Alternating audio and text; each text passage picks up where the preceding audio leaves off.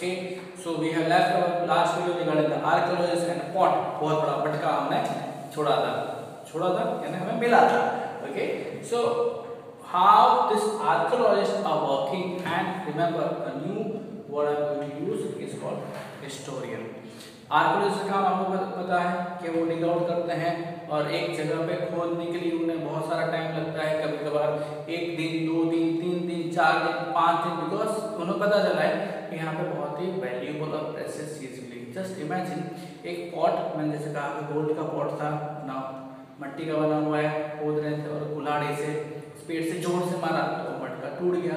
अब मटका टूट गया, पैसे मिल गया वाह वो बात नहीं है। आर्कोलॉजिस्ट और हिस्टोरियन के लिए वो मटका भी इतना प्रेशियस था, क्योंकि मटके के ऊपर अलग अलग डिज़ाइन बनाई होती है, वो मटके को चेक करें कि वो किस मटेरियल से बना है वो डिज़ाइन क्या स्टोरी टेल करती है? रिमेंबर अगर हमारे पास मैन्यूस्क्रिप्ट होती, जो हमें टर्माइट्स की वजह से वो खराब हो गई है, या ईट हो गई ईट हो गई, यानी खा गए हैं, या खराब हो गई है डिस्ट्रॉय हो गई, अगर हमारे पास होता तो हमारा जो पास्ट था, वो हमें और अच्छा पता चलता। मगर उसके बारे में आगे के टॉपिक में जाएँगे। अभी तो हम दो ग्रेट पीपल के बारे में नॉट पीपल वर्कर्स कह सकते हैं, या फिर जॉब के बारे में आर्कोलॉजिस्ट और हिस्टोरियन ये बहुत ही ग्रेट जॉब है, मगर बहुत ही बोरिंग जॉब है just like my subject social science okay क्यों? उसमें बहुत टाइम स्पेंड करना पड़ता है, बहुत सारा नॉलेज रखना पड़ता है।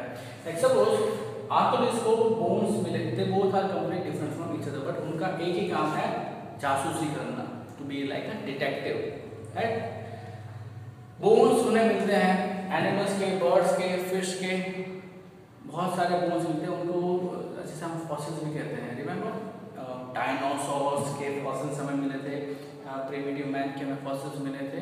तो वो चीज़ ये लोग स्टडी करते हैं आर्कियोलॉजिस्ट में उन्हें पता चलता है कि भाई ये लोग ये खाना खाते होंगे और शायद वो मैन्यूस्क्रिप्ट पढ़ते हैं हिस्टोरियंस और उससे पता चलता है कि इंडियंस पहले के ज़माने में कैसे कपड़े पहना करते ना as remember I am back to the Ramayan Mahabharat right remember Lord Ram Lord Hanuman ji right and माता सीता वो कैसे कपड़े पहनते थे?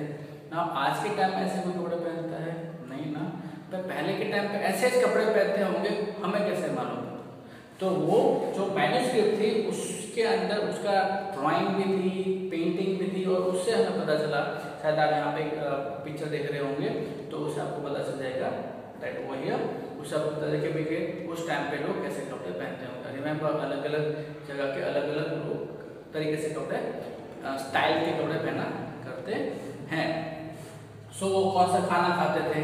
तो वो भी हमें लाइक सपोज़ विच ग्रेन्स कौन से आटा आटा तो नहीं कहते, कौन से ग्रेन्स खा ग्रेन्स को हिंदी में क्या कहते हैं? जस्ट आई रिमेंबर आउट मुझे भी याद नहीं क्या कहते हैं। भूली क्यों थोड़ा बहुत याद तो याद करें as a we are student of English medium तो कभी कभार हमें गुजराती के वर्ड्स भी याद नहीं आते जैसे एक वर्ड है कॉफी या फिर टेबल या ट्रेन ये सारी चीजें इंग्लिश में है ना अभी इसका गुजराती में क्या है ट्रेन જ કહી છે હા છુક છુક ગાડી ટ્રેન ને આપણે છુક છુક ગાડી કહી છીએ ને ઓકે ફાઇન નહીં હવે back to the class okay back to the video so in archaeologists और हिस्टोरियंस को ऐसी सारी चीजें पढ़नी पड़ती है देखना पड़ता है ढूंढना पड़ता है कि फ्यूचर फ्यूचर तो ये है। पास्ट में पहले क्या हुआ था? कैसे रहते थे? क्या खाते थे? कैसे सोसाइटियाँ थी? कि कैसे बिल्डिंग्स थे राजा ने क्या खाया? राजा ने क्या ऑर्डर दिया? राजा ने क्यों ऐसा करा? राजा क्यों वॉर पे गया? ये सारी चीज़ें हमको ढूंढनी पड़ती है। राइट और वही लोग हमें बताते हैं कि भाई वो स्टूडेंट जी, पहले के टाइम पे ऐसे ऐसे लोग रहा करते थे। सो right now i am ending my this video so please enjoy if you want to become an archaeologist or historian it's a very great job आपका नाम हिस्ट्री में भी आ सकता है पीपल विल रिमेंबर यू कि ये लोगों